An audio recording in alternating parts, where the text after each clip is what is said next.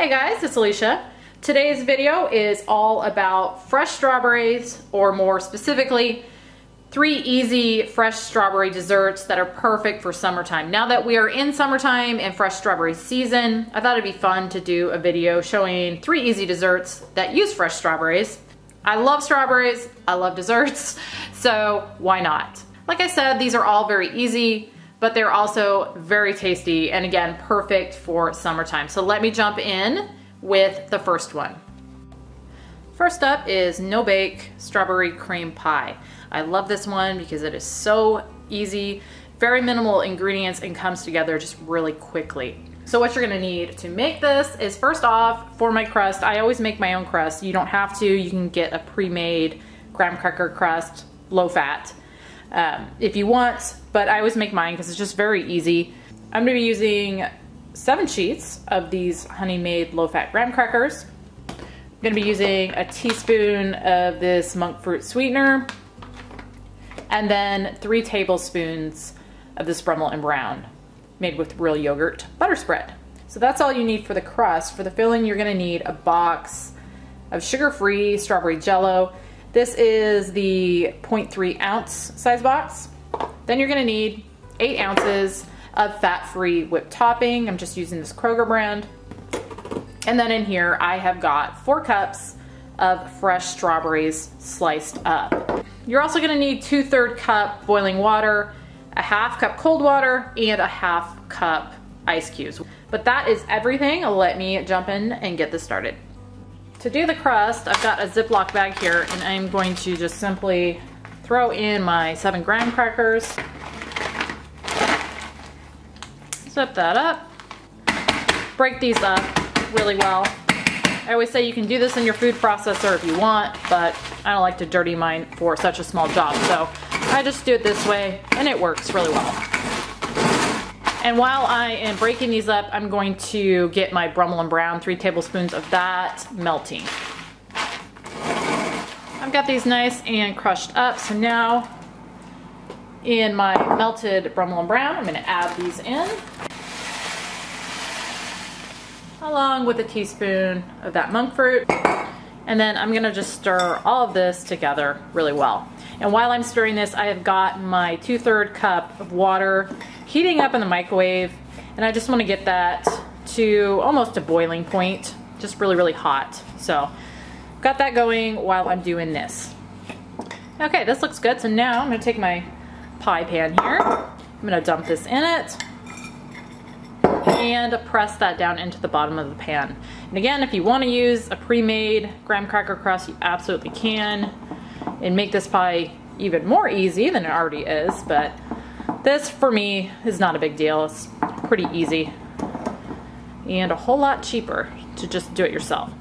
Okay, I've got that pressed in, and I just press mine into the bottom. I don't go up the sides because it's just a lot easier to do it this way. So now I'm gonna take this and put this in my fridge while I work on the rest of the pie.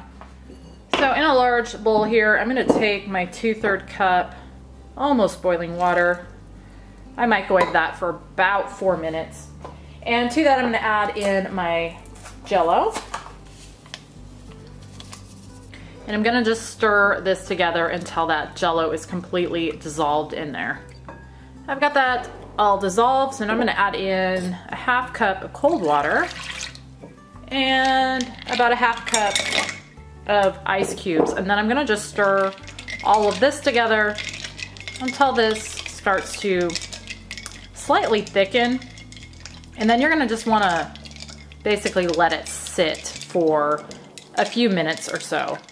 Okay, this is starting to kind of thicken up a little bit. I don't know if you can tell that. So now I'm going to add in my whipped topping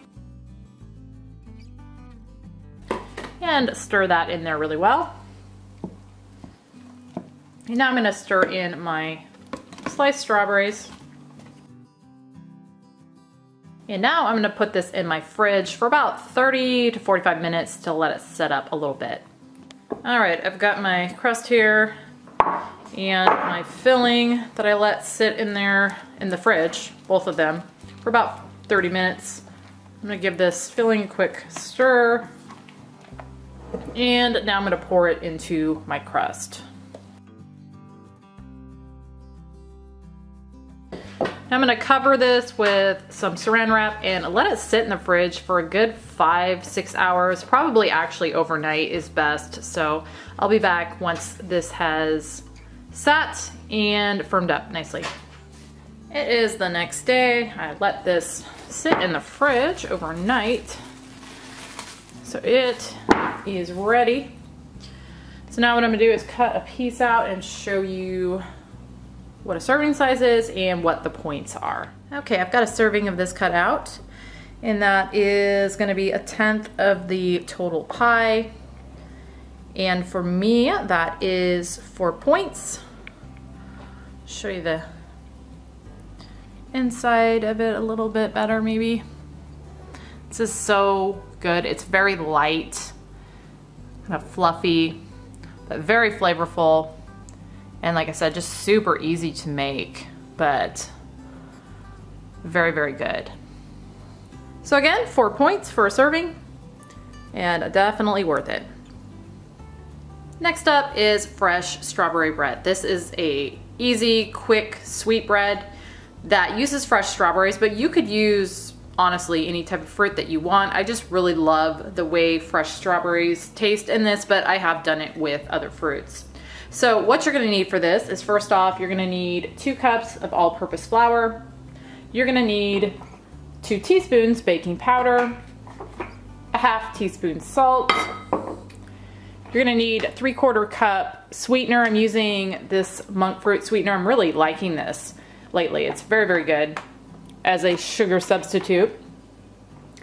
Then of course you're gonna need fresh strawberries. I've got two cups of fresh strawberries cut up here. You're gonna need a large egg, a quarter cup of no sugar added applesauce, two teaspoons lemon juice, teaspoon vanilla, a quarter cup oil, I'm using canola, and then finally three quarter cup plain unsweetened almond milk.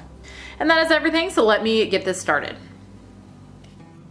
First off, you wanna get your oven preheating to 350 and then in a medium sized bowl here, I'm gonna add my two cups flour, half teaspoon salt, and two teaspoons baking powder. And then I'm gonna just stir all of those together really well. And then I'm gonna set that aside. And then in a large bowl, or you could do this in your mixer. I typically do it in my mixer, but my KitchenAid is currently being used for something else. So I'm gonna use a large bowl this time. You're gonna add in your egg, oil, quarter cup applesauce, two teaspoons lemon juice, three quarter cup almond milk, teaspoon vanilla, and three quarter cup monk fruit.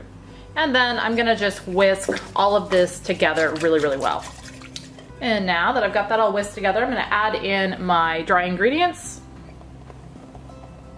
And I'm gonna mix these in just until everything is well moistened. You don't wanna over mix this.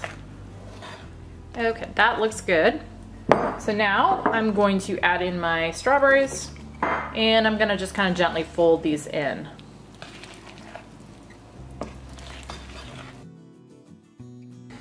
Now I'm gonna take a loaf pan. I'm just using the silicone one. I really like these because they uh, release whatever's in them pretty well. But I'm also gonna add, just for extra measure, a little bit of cooking spray to the inside of that. And then I'm gonna just pour my batter in. Gonna smooth that in there. And I'm gonna bake this at 350 for about 50 to 60 minutes or until a toothpick inserted in the middle comes out clean. I let this cook for just about 60 minutes and it is done. So I've got it sitting here and I'm gonna let it cool for a few minutes in the pan, probably about 10 or so. And then I'm gonna take it out and put it on this cooling rack and let it cool some more before I cut into it. But I will be back at that point. All right, I have let this cool completely, basically, on my cooling rack here, and now I'm gonna go ahead and cut into it. So I've got my cutting board here. I'm gonna transfer it over to that. Now, serving of this is a 12th, And for me, that is four points. Uh, that's what it looks like inside. Nice and moist. And again, this is four points for me for a slice, which is a 12th, and I don't think that's bad at all. Definitely for as good as this stuff is. My hubby just came down, so I'm gonna go ahead and have him taste it on camera. Let us know what he thinks.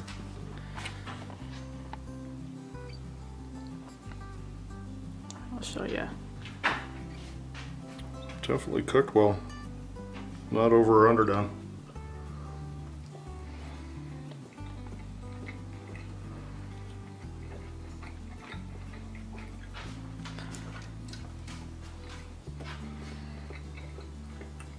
Four points, that's really good.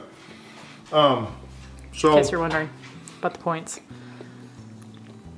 the the bread, it, it's almost scone-like. It's got more moisture than a scone, Mm-hmm. but it doesn't have. It's not overly sweet. Well, yeah, I you could definitely go sweeter on this if you want. I only put three quarter cup monk fruit in it, so you could probably go a little more, honestly, if you want sweeter.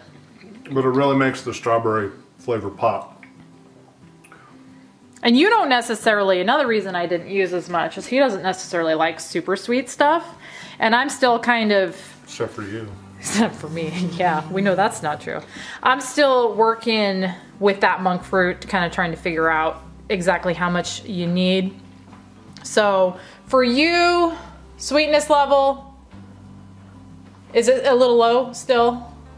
It, it just it just depends on what you're wanting. I personally like scones. Yeah. You know, I, I like the more savory type of pastry on occasion. Mm-hmm. So I'm totally fine with the way it is, So you would describe this as scone-like? except for the moisture level. Except for the moisture level. Yeah. Okay. okay.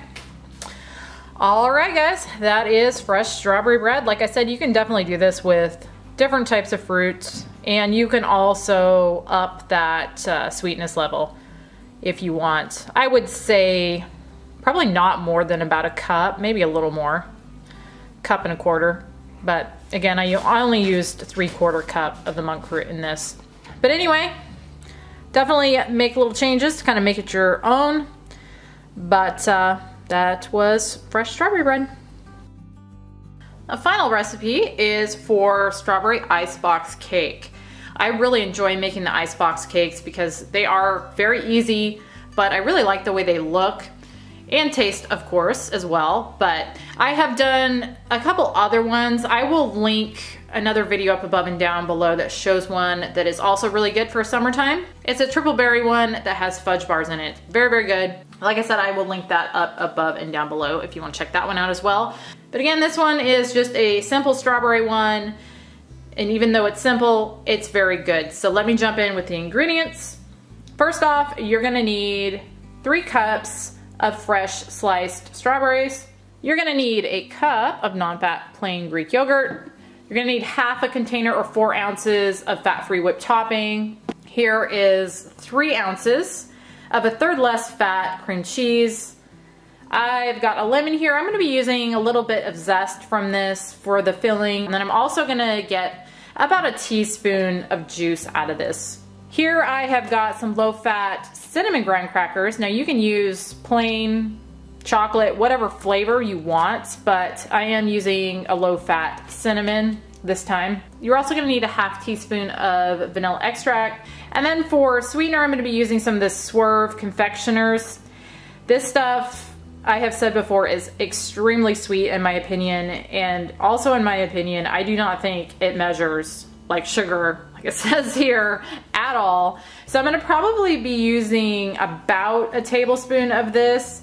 If I was using regular confectioners like I've done in the past, I would be using two, but we're gonna start off with just one and that's probably gonna do it. But if I have to add more, I will. And then finally, of course, my strawberries. I've got three cups of fresh sliced strawberries here and that is gonna be it. First off, in my mixer here, I'm gonna add in my three ounces of cream cheese, my cup of fat-free Greek yogurt, and my tablespoon of that Swerve confectioners. Then I'm gonna get this mixing here. and I'm gonna mix it on medium speed for probably about four minutes or so. I just wanna get that nice and mixed well, nice and creamed together. So I'm gonna let that go for about four minutes, like I said, and then I will be back. So while that's mixing, I'm actually gonna just zest my lemon too. Again, I'm looking for some for the filling. Also, I wanna juice this and get about a teaspoon or so of juice out of it. But as I always say, you wanna just zest the yellow part, not, you don't wanna get into the white pith because that is very bitter. So just getting the outside yellow for the zest. This is all nice and creamed together. And I did taste it and added another teaspoon of that Swerve Confectioners to it. So four teaspoons total. So now to this I'm gonna add in a half teaspoon vanilla and a teaspoon of that fresh lemon juice. And then about a teaspoon of lemon zest or the zest from one small lemon. And now I'm gonna mix that again for another probably 30 seconds or so. And now to my filling, I'm gonna add in half of this whipped topping. And I'm gonna just fold that in. Okay, that looks good. Now I'm taking a bread pan here and I'm going to press down a piece of parchment paper in it. And you wanna leave some hanging out so that you can use it as candles later. Okay, I've got that pressed in. So now I'm gonna take my graham crackers and I'm gonna put a layer of them on the bottom. Like that, and those do not fit in there the best on that first layer, but just get them in there the best you can. So now I'm gonna take half of my cream cheese mixture and I'm gonna lay that on top of the graham crackers and smooth that in there. And then I'm gonna take half of my strawberries and lay those on top. Now I'm gonna take another layer of graham crackers and kind of press down with them. Of push that, push the strawberries in there a little bit. And then on top of those, I'm gonna put my remaining cream cheese mixture. And evenly spread that out. And then finally I'm gonna top with my remaining strawberries. Now I'm gonna cover with a piece of plastic wrap, the best I can here. I'm gonna lay that over. And I'm going to put this in my fridge for probably four to six hours, even overnight. Basically what you're looking for is you want that to sit in the fridge long enough for those graham crackers to absorb some of the moisture, become soft and cake-like. So again, four to six hours or even better, overnight. But I will be back once this is ready to cut into.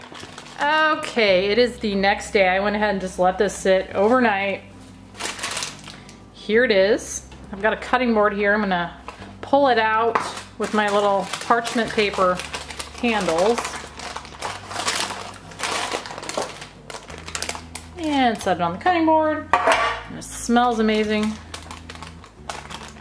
And now I'm gonna cut a slice out. This does eight servings and each serving is four points. Had to think there for a second. So I'll go ahead and slice off roughly what a serving is. All right, there's a serving of that and I'll show you the inside maybe a little better. Uh, That's the inside. Like I said, this stuff is very good, very easy, and really pretty low in points too for four points. So that is going to wrap up my three easy summer strawberry desserts. I hope you guys enjoyed this. If you want to see maybe another one of these, I definitely have more strawberry desserts and I can do another one of these videos. Let me know down in the comments below. But thank you as always for watching and I will see you on the next one.